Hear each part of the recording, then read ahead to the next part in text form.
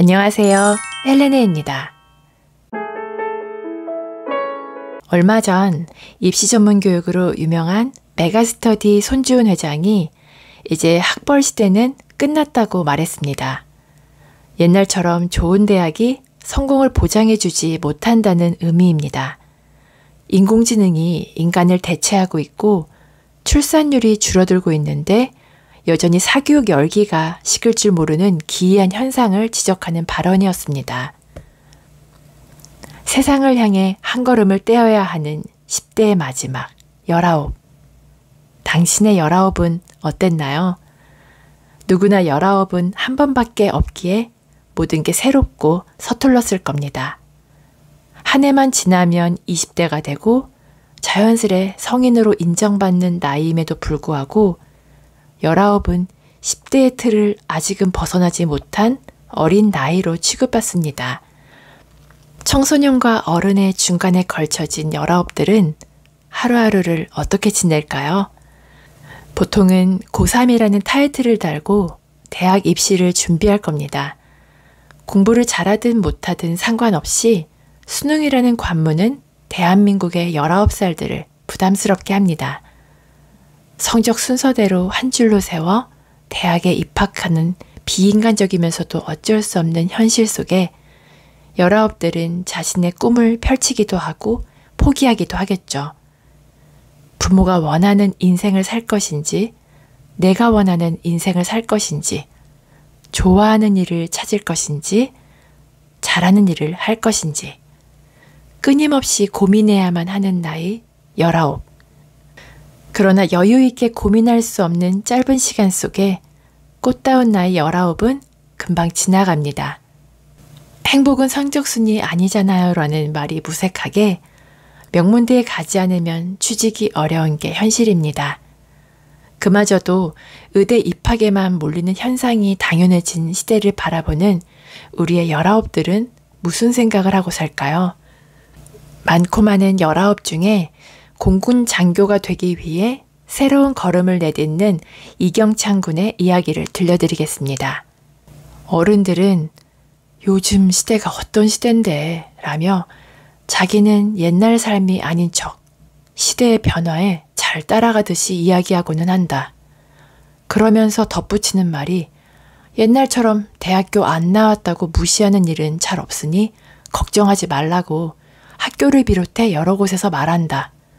하지만 내가 관광 사진사라는 일을 배우면서 처음으로 사회에 발을 내딛었을 때 대학을 나오지 않아도 괜찮다라는 말은 모두 새하얀 거짓말이었다는 것을 두 눈으로 확인할 수 있었다.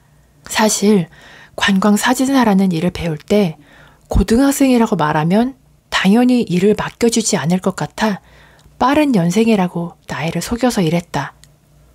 가이드분이 나이를 물어볼 때 역시 한 살을 더해 스무 살이라고 이야기했다.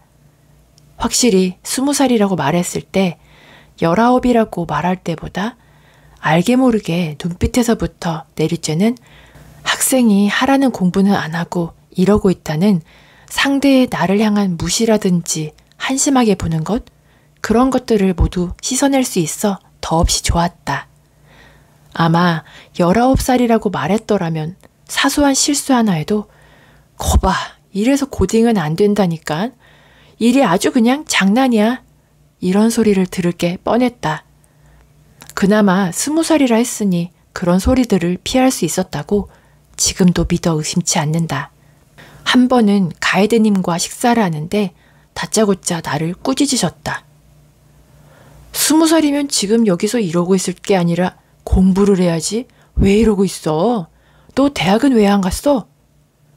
아, 대학 간다고 해서 누구나 다 직업을 구할 수 있는 건 아니더라고요. 야, 이 사람아. 그래도 스무 살이면 지금 여기서 이러고 있을 게 아니라 대학을 가야지. 왜 이러고 있어? 시대가 변해 대학을 가지 않아도 사회에서 무시하거나 비웃는 일은 없을 거라 생각했다. 하지만 여전히 어른들은 대학을 나오지 않으면 못 배운 사람이라 정의 내리고 있었다. 대학을 꼭 가야만 하는 걸까? 어느 순간부터 대학은 더 이상 배우기 위해서가 아닌 사회에 나가서 무시당하지 않기 위해 가는 곳이 되어버린 것만 같다. 마음만 같아서는 바로 내가 하고 싶은 것을 찾고 그 길을 향해 나아가면 된다. 그렇지만 우리는 그 무시라는 시선이 두려워 비싼 등록금을 내가면서 대학에 지원하고 있는 건지 모르겠다. 이경창 군의 글을 읽으면서 많은 생각이 들었습니다.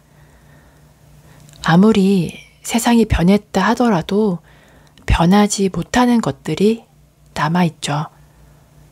세상을 향해 나아가는 출발점에 놓인 열아홉들이 가장 먼저 부딪혀야 하는 것이 밝은 미래가 아닌 오래된 편견이라는 현실이 안타깝기만 합니다. 이제 인간이 살아가는 방식은 시대의 변화에 맞게 진화해야 할 것입니다.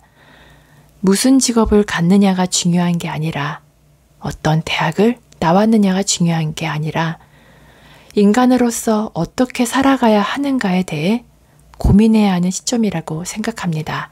저는 우리의 열아홉들이 세상과 타협하느라 꿈을 잃지 않았으면 좋겠습니다. 소중한 열아홉들의 목소리를 더 많이 듣고 싶으시다면 이경창 군의 첫책 열아홉의 에세이를 직접 읽어보시기 바랍니다. 오늘도 저와 함께 해주셔서 감사드리고요.